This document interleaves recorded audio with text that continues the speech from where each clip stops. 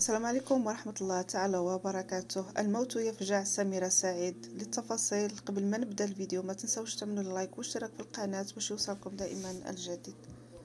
كشفت الفنانة نادية مصطفى عن وفاة طليق المطربة سميرة سعيد ووالد ابنها الوحيد شادي وكتبت نادية عبر حسابها على الفيسبوك النهاردة زي ما كتبت على صفحتي على الفيسبوك ميعاد عزاء أستاذي محمد سلطان أرسلت لكل فنان معي رقمه على الواتساب ومنهم الفنانة الكبيرة الراقية سميرة سعيد وأضافت كلمتني واعتذرت عن عدم حضور العزاء لأنها خارج مصر لأن أبو ابنها شادي توفي أمس.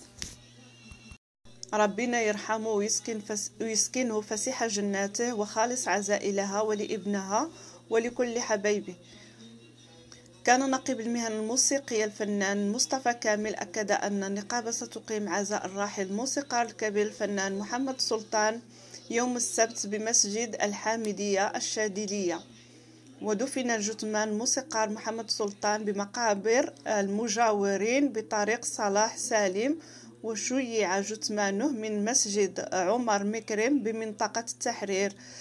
بحضور عدد من الفنانين والتف الجثمان بعلم مصر وذلك تنفيذا لوصية التي أدلى بها قبل وفاته.